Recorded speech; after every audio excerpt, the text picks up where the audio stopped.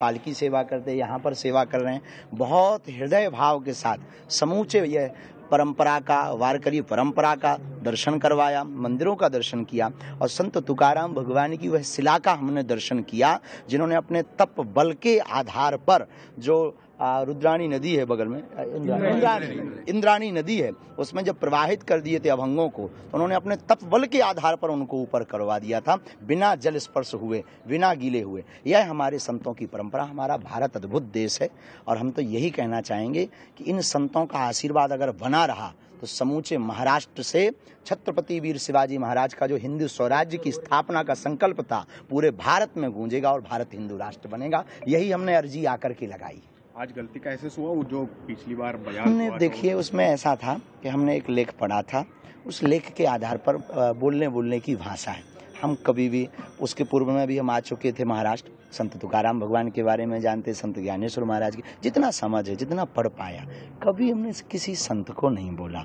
वो तो समझ नहीं पाए, हमारी पढ़ने में रहा, और बोलने की एक लोकल भाषा का एक प्रभाव होता है। तरीके होते हैं समझाने के। कोई शक्कर कहता है, कोई शुगर कहता है।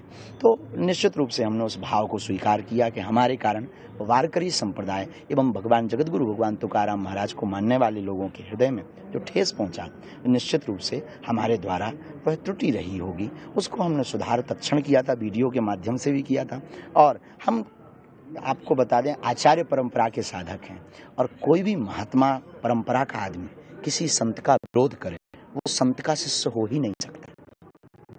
विरोध किसी संत का कोई व्यक्ति करे शिष्य तो वो संत का चेला हो ही नहीं सकता।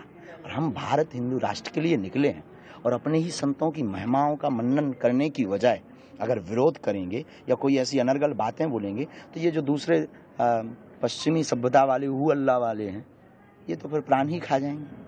इसलिए हमने संत तुकाराम महाराज के समूचे वारकरी संप्रदाय के लोगों से हाथ जोड़ करके खेद भी व्यक्त किया था। और पूरा परिकर बहुत अच्छा है व्यवस्था बहुत अद्भुत। यहाँ की प्रशासन व्यवस्था बहुत प्यारी बहुत बहुत साधु। फिर आपको कैसा लगा? बहुत अद्भुत प्राचीन है अद्भुत है। कभी ठाकुर जी ने चाहा जगत गुरु जगत गुरु तुकाराम महाराज की कृपा हुई हम भगवत चर्चा भी सुनाएँगे। तर वागेश्वर बाबांनी संत तुकोबांच्या समाधीचं दर्शन घेतलेलं आहे.